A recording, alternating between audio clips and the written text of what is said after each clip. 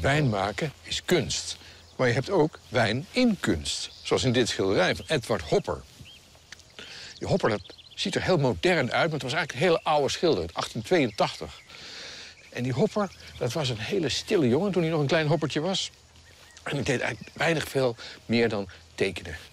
En altijd maar tekenen, een blokje een potloodje zat hij te tekenen. Werd hij wat groter, dus toen zei hij tegen zijn vader... ik wil graag tekenaar worden. En zijn vader zei, dat moet je niet doen, jongen, dat is geen pepernoot bij te verdienen.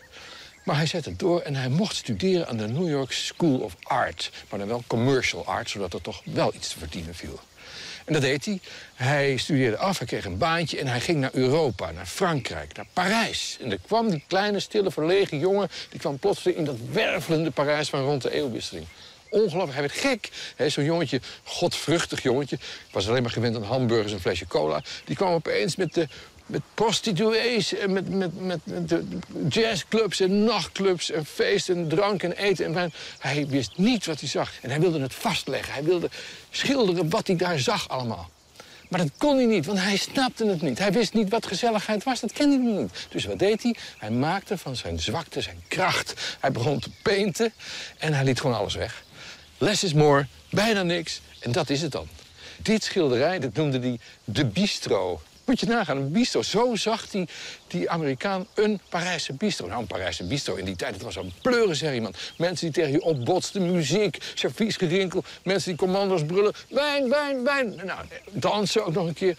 En dit was dan volgens hem een Parijse bistro. Hier, de boulevard. Dat was natuurlijk een drukte van belang.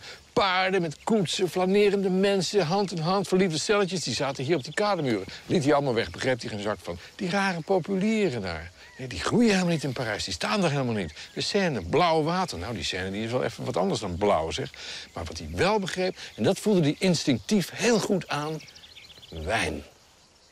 En daar schilderde hij dan die rare, zwijgende figuur... helemaal weggestopt in een hoekje. Heel groot leeg vlak. En in een hoekje twee vreemde mensen... die soort bidden bij een fles Beaujolais. Want dat was wat ze toen dronken. Beaujolais.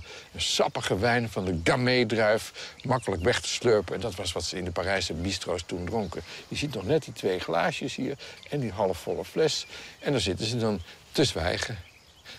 En het aardige was dat dit werk van Hopper was aan de straatstenen niet kwijt te raken. Niemand wilde zo'n stuk ongezelligheid boven de bank hebben. Zo'n schilderijtje als dit, 10 dollar op zijn best. En nu worden zijn schilderijen geveild voor 40 miljoen euro. Door dingen niet te schilderen. Nou, ik zou zeggen, Hopper, ga zo door.